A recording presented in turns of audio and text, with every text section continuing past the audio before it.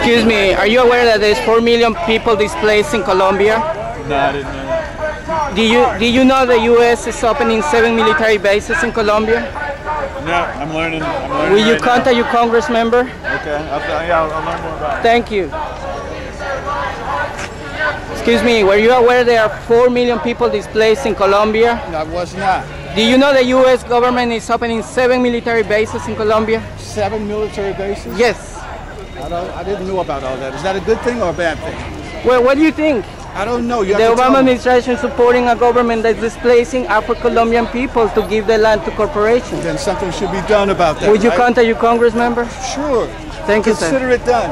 Thank you. Yeah. What do we need yet?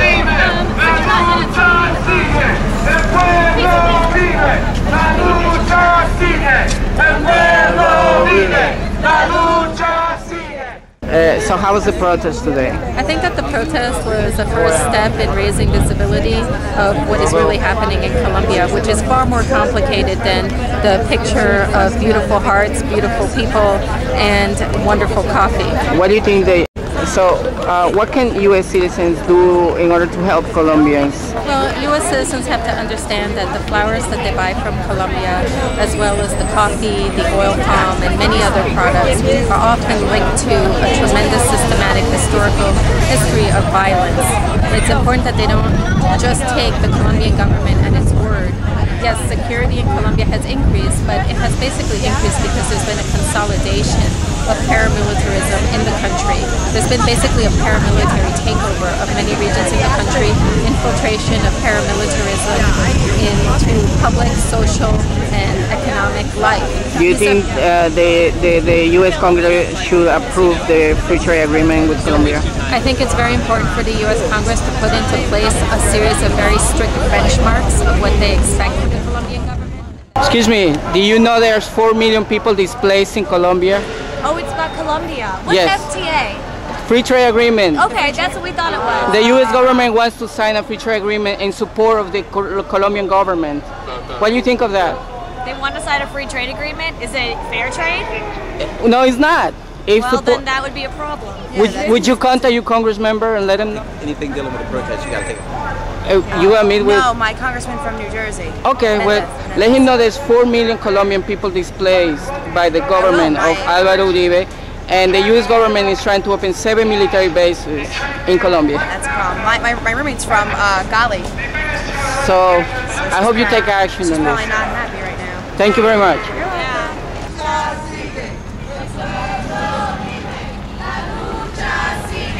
Can I ask a question? Were you aware that 4 million Colombians are displaced for the land so those, those lands can go to private corporations? No, What do you think of that?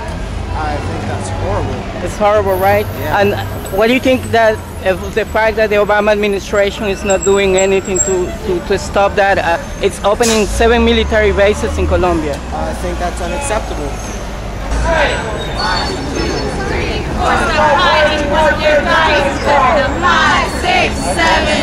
Lying hearts don't tell it straight. Stop hiding what they're dying for. Lying hearts don't tell it. I'm inside of Union Station in Washington, D.C. This is the main train station. And this is where most politicians who travel around the country uh, come and pass by, and many tourist people come here. And as we can see here, uh, the Colombian government has set up a beautiful exhibition with colorful sculptures. There's a booth where people can get free coffee, and they have uh, volunteers uh, giving out flowers from Colombia, and they also have multimedia stations and all kind of things that as someone was telling me it's intended to show the good side of Colombia. But um, as you saw outside there's a protest that is showing the other side of Colombia which is not shown in this exhibit can I ask you a question are you guys from Colombia I'm from Colombia. you're from Colombia what do you think of the fact that there are 4 million displaced people in Colombia, that they are, have lost their land and the land have been given to private corporations. Well, I think it's a very, a very sad situation. Are you aware of that? Yes, of course. Mm-hmm. I understand that it is a very big problem, and I understand that, that the government ha- have to do something to solve this, this, this problem. But I think uh, it's a huge. I think the, the society, the whole society in Colombia has to work to solve this problem.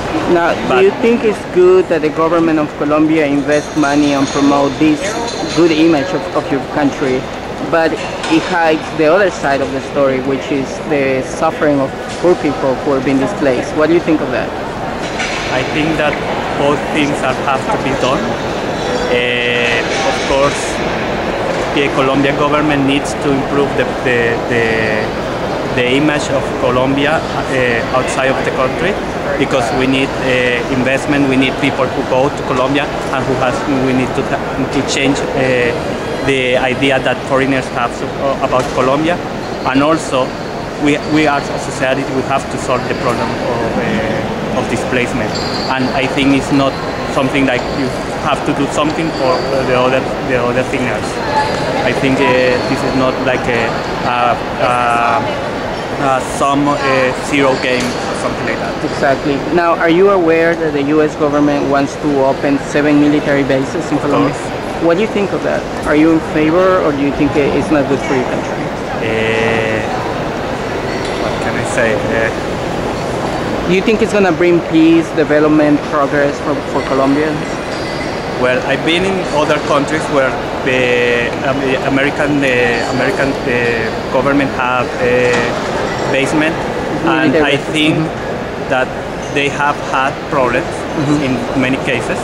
But this, but the, but the, the general effect of the of the of the American uh, um, Presence? presence in the country in the country is usually good. I got a complaint that you're. I'm interviewing people. Uh, yes, I think- okay, you can film, but you're gonna have to leave with it. Really? Why? Do you Uh, work so, for the yes. I'm in charge of the mall. Okay, but can you give me a reason why I can Because do you're, this? You're, you're, interfering with the normal pattern. No, no, I'm actually Sir, trying to sir. get the, the other side of the story, Okay, and I've been to get the respectful. story in here unless you have a permit. Really? Yes. Who can I speak to? Me. Well, what's the problem? This is a public exhibit. I'm Okay, an when you come independent blogger. Telling me you're interfering, you're, you're interfering haven't. with them. Okay, sir. I'm not gonna discuss. So you I'm want me to leave? Yes, sir. Okay. Where, where are we going right now? We're going over just to buy where there's uh, some of these PR whitewash hearts to. Oh, so you're gonna go inside a right now? memorial. We're not going inside. Outside there's uh, some of these hearts. And they, it- they call the police already. Excuse me, excuse me. Gotta take your signs down. Oh, Thank you. okay. because we need to memorialize the fallen, the victims of violence and impunity in Colombia. The people exactly that Uribe and the government of Colombia would like for us to forget. We're here because we need to call out this tourism campaign is what it is, an attempt to pull the wool over the eyes of policymakers and pass the trade deal, uh, a NAFTA-style trade deal between the U.S. and Colombia. That can't happen, and that's why we're here today to make sure that the policymakers aren't fooled.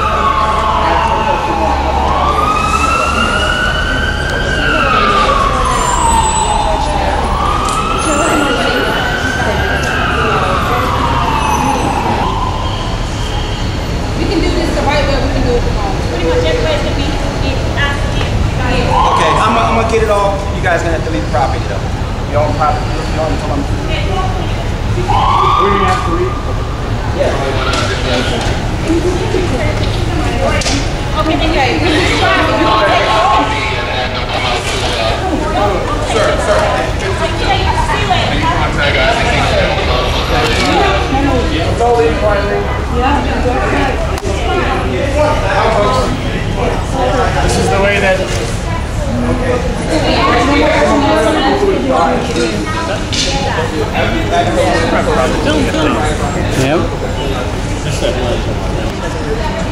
Well, this is a strategic heart for us to have the uh, flowers and pamphlets at because this one specifically talks about Colombia being a, a U.S. ally and it kind of sums up the whole campaign and them spending and investing large sums of money to really, in our opinion, cover up um, what's really happening in Colombia. And you know, they talk about celebrating Colombians and Colombian people, and we also want to do that, but we want to celebrate the human rights defenders and labor unionists who are sacrificing their lives to stand up for what they believe in.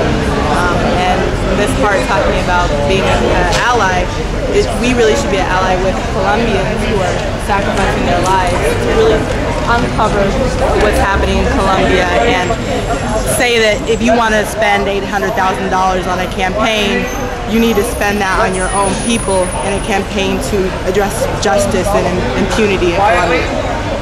They want you guys to leave. Um, yeah, I guess because it's private property.